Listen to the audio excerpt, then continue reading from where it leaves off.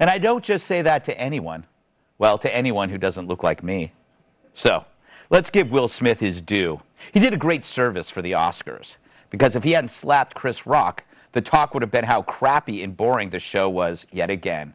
I was slapping myself to stay awake. Without Will turning it into Palm Sunday, the rest of the show was one long in memoriam. You also didn't hear about their goodie bags, not to be confused with the D bags in the seats.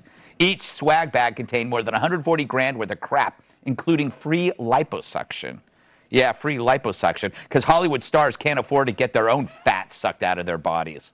Hell, I'd do it for free. I'll bring my own straw. I don't know what that means. The gifts also included an all expenses paid trip to Scotland with a three night stay at a fancy castle, free construction for a home renovation, a four night visit to a luxury spa, and a plot of land in the UK with a noble title. Great. How does Sir and Lady Douche-a-lot sound?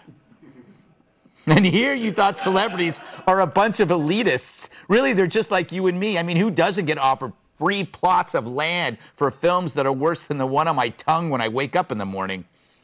But I don't mind them getting free trips around the world. I'd just rather they didn't come back.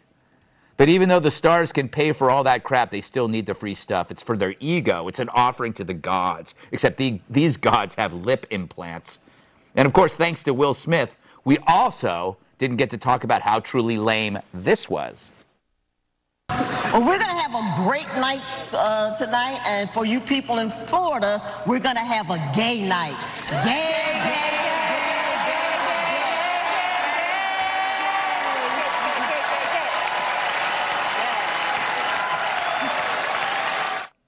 Only the Oscars can make gay boring and tedious. because the Oscars are no longer about entertainment, but diversity for the sake of diversity. But then they make diversity truly boring by making it painfully contrived. Their propaganda films with famous actors and music score lights, makeup, and wardrobe are worse. They're as heavy handed as Big Ben. The virtue signaling. Thank you. Some people didn't get that joke. The virtue signaling has descended into the purely infantile, like a juice box with a rainbow on it. As wokeism spreads, the movies shrink and splinter into morose attempts at identity politic fantasy. They aren't movies, just messages with all the depth of a coexist bumper sticker. It's no wonder they had the second worst rating ever, and it would have been the worst if everyone hadn't immediately texted their friends about the slap. You know, if they're smart, next year they'll have Kanye West and Pete Davidson co host. Hell, make fisticuffs a regular part of the show. At least give us a steel cage match for the best supporting actor. But like my hairline, it's only going to get worse. According to LA Magazine, starting in 2024, producers must submit a list of the race, gender, sexual orientation, and disability status of members of their cast and crew. If a movie does not have enough of the right people on set, that movie won't be eligible for, for an Oscar.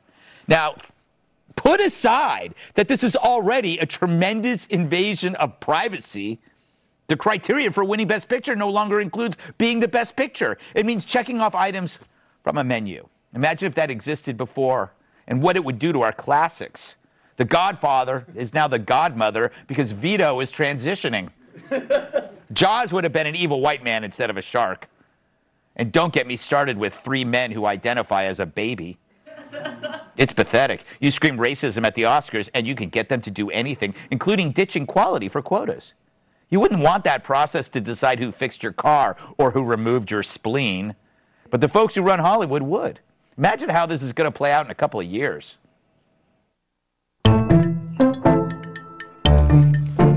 All right, my picture. Now, we can probably eliminate most of this crap. Uh, did anybody see the George Washington biopic?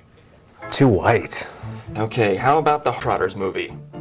Too ableist. Okay. Way too straight. Heard that. Not straight enough.